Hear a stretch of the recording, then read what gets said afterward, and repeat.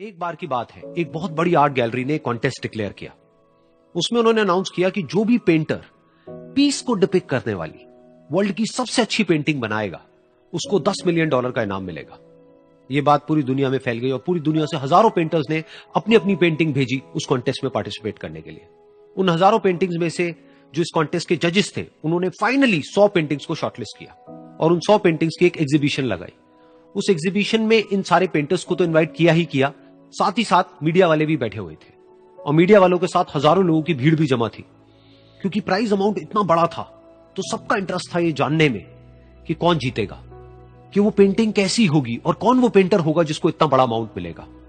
Finally वो दिन आ ही गया। वहाँ पर सारी ही पेंटिंग्स देखने लायक थी और एक से बढ़कर एक थी। उसमें से कुछ पेंटिंग्स थी जहाँ पर सबसे ज़्यादा भीड़ थी। जैसे एक पेंटिंग थी जहाँ पर एक बिल्कुल साफ़ पानी की नदी बह रही थी, जिसके पीछे कुछ पहाड़ थे, उसके ऊपर बर्फ़ जमी हुई थी और पीछे से सनराइज हो रहा था। एक और पेंटिंग थी जहाँ पर पेंटर ने पीस को डिपिक किया था फुल मून नाइट के थ्रू यानी कि एक बिल्कुल पीसफुल लेक थी, जिसका पानी बिल्कुल स्टिल था।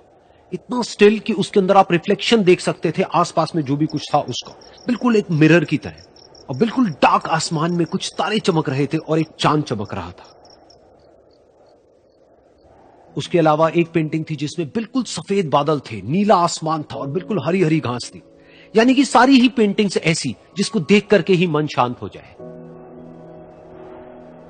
तो कॉन्टेस्ट बहुत ही टफ था, क्योंकि सारी पेंटिंग्स एक से बढ़कर एक थी तो जजेस के लिए शॉर्टलिस्ट करना कि कौन सी पेंटिंग बेस्ट है that was very very difficult लेकिन वो मोमेंट आ ही गया जब जजेस ने अपना माइंड मेकअप कर लिया।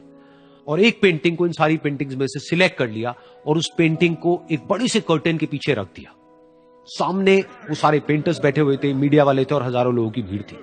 सबकी क्यूरोसिटी बढ़ती चली जा रही थी क्योंकि अमाउंट बहुत बड़ा था। लेकिन जैसे ही वो पर्दा हटा और सामने से सबने उस पेंटिंग को देखा तो सब हैरान रह गए। सब एक दूसरे की शक्ल देखने लगे। किसी को कुछ समझ नहीं आ रहा था कि एक्चुअल में हो क्या रहा है। क्योंकि वो पेंटिंग जो वहाँ पर दिख रही थी, वो दूर दूर तक शांति को डिपिक्ट नहीं कर रही थी। तो सबको लगा कि शायद उस आर्ट गैलरी से कोई गलती हुई है या जजेस से कोई गलती हुई है और किसी गलत पेंटिंग को वहाँ पर रख दिया है।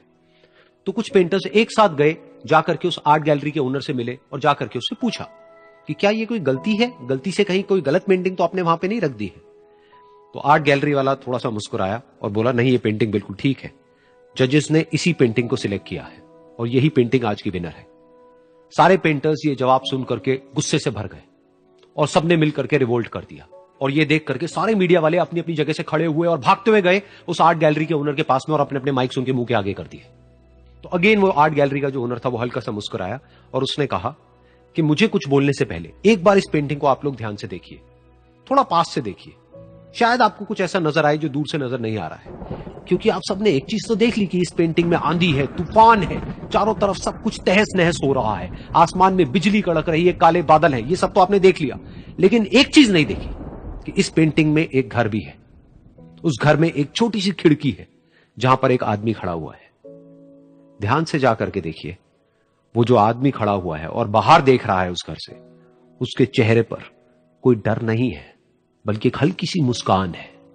एक ठहराव है, एक सुकून है, और यही है शांति का असली मतलब। यानी कि शांति का मतलब यह नहीं है कि हमारे बाहर सब कुछ शांत है और फिर हम शांत हैं, क्योंकि वो टेम्पररी है।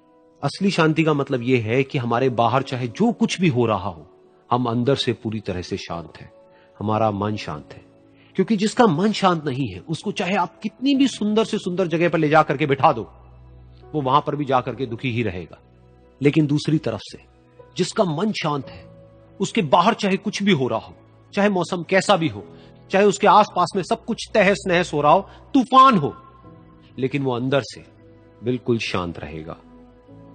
और यही है शांति का असली मतलब।